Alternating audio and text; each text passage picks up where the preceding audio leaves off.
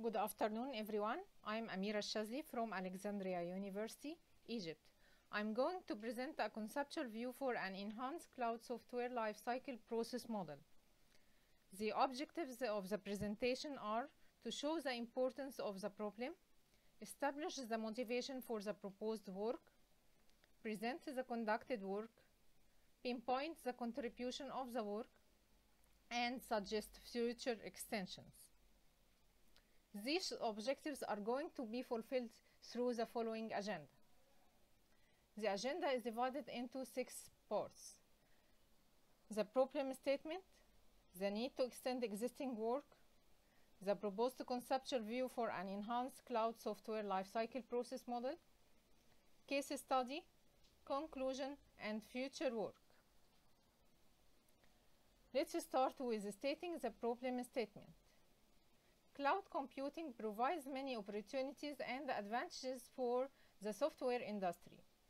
Small to medium enterprises are the most benefited from these advantages. Therefore, these enterprises require a well-defined software process model to develop reliable and good quality cloud-based software in view of their limited resources. That covers the first objective of showing the importance of the problem. Let me move on to the second item, which is the need to extend the existing work. The existing work of process models of cloud software can be classified into two classes consumer specific cloud software process models and process models of SaaS.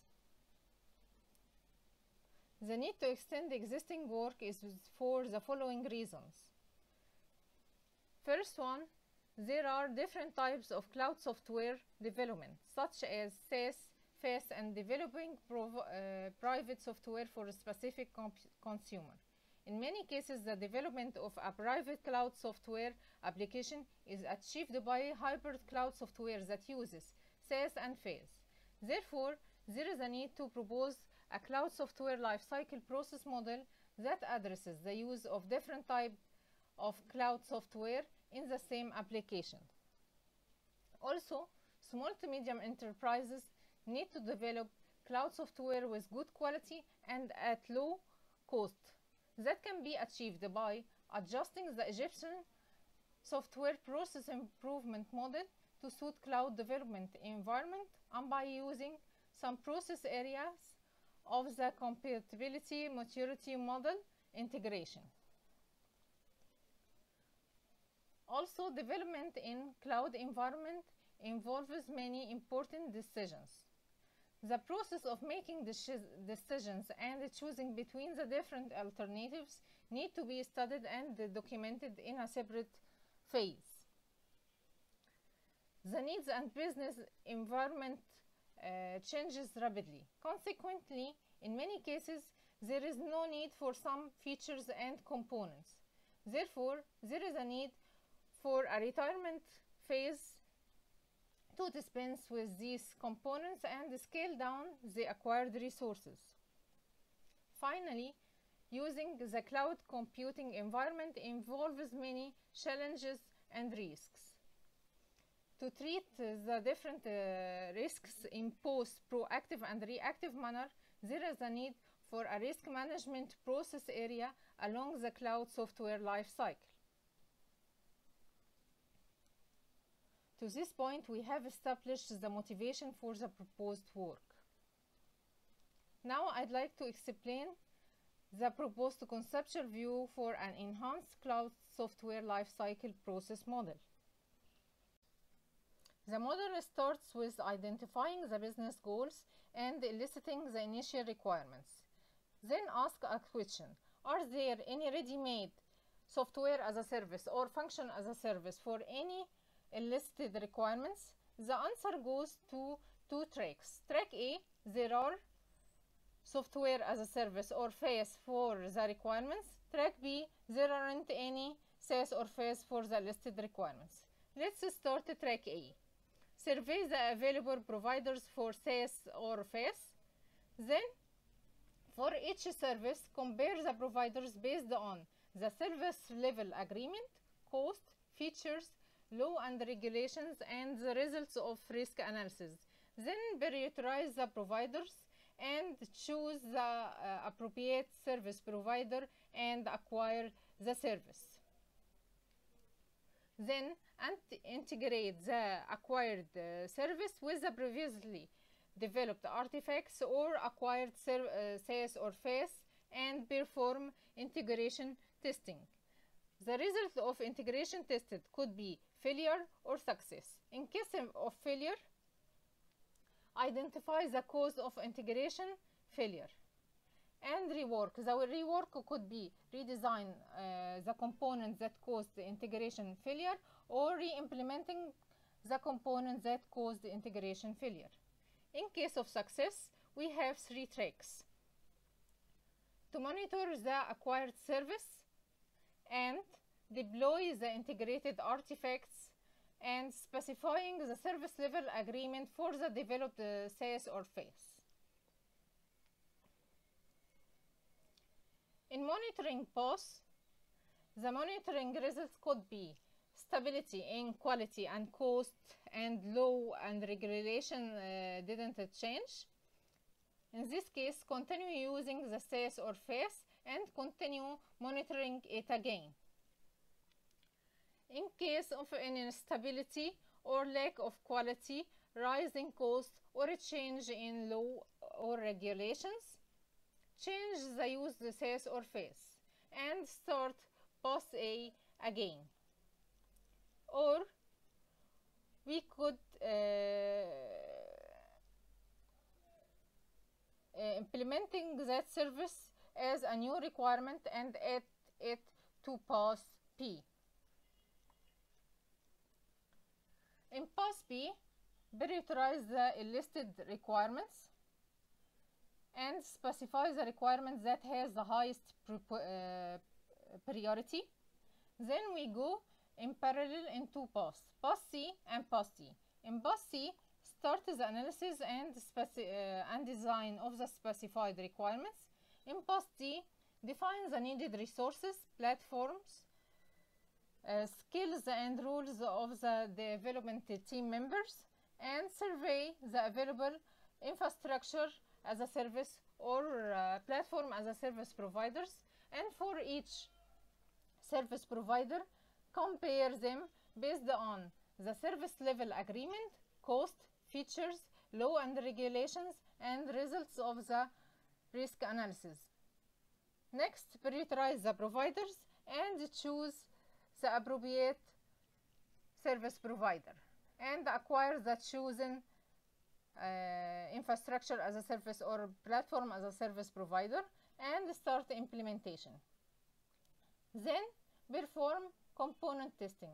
The results of component testing could be failure or success. In case of failure, re-implement the component that caused failure or redesign it.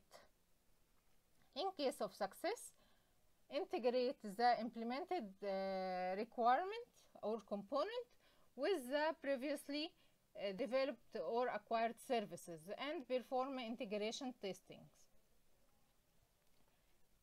And in case of success, deploy the, uh, the artifacts and start the operation process. In operation process, the end user starts using the software and submit feedback. The, the feedback uh, led us to three processes. Uh, maintenance, retirement of unused components or a change or occurrence of new requirements. In case of a changing or occurrence of new requirements, add them back to the uh, priority list of requirement in POS uh, P, P1. And in case of uh, maintenance, uh, the maintenance uh, could lead us to reanalysis and redesign of a component based on the feedback or re-implementing the uh, component and start from B3. Now let's move on to the case study. A real-life case study is used as a proof of concept for the proposed model. The case study is a cloud uh, e-commerce web application. It's an online shop for many products. The user can browse uh, the showed products, read its details, add products to e-cart, and uh, changes the quantity of the products in the e-cart. The application calculates the value of the orders. The application was implemented uh, on a private cloud acquired from Amazon Web Services. Uh, to produce uh, the application, various components were integrated such as SaaS, FaaS, and database as a service. For authorization and authentication requirements, AWS Cognito was used as uh, SaaS. Uh, for storing the data of products and orders, Amazon DynamoDB was used.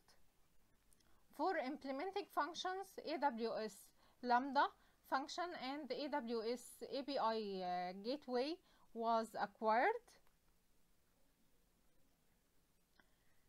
I think now we have a good understanding of the conducted work.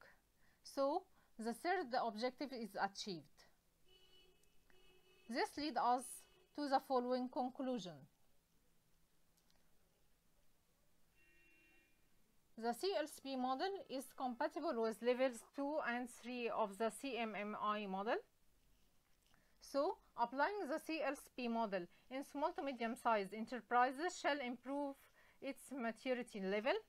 Therefore, time spent on training members of the various development teams uh, to use the model uh, would improve the quality, cost, time of producing cloud-based software.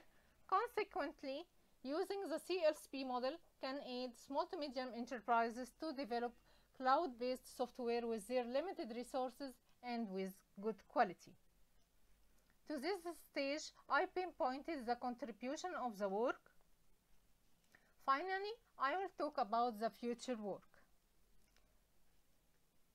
The detailed CLSP model will be described. The description will illustrate the phases and activities listed in each process area for every phase in detail. The roles of the team members and the produced artifact will be explained in the detailed CLSP model. To sum up, I achieved all the uh, objectives. First, I showed the importance of the problem, then established the motivation for the proposed work, next presented the conducted work, and pinpointed the contribution of the work, finally suggested future extensions. Thank you very much for listening. You can contact me on this email.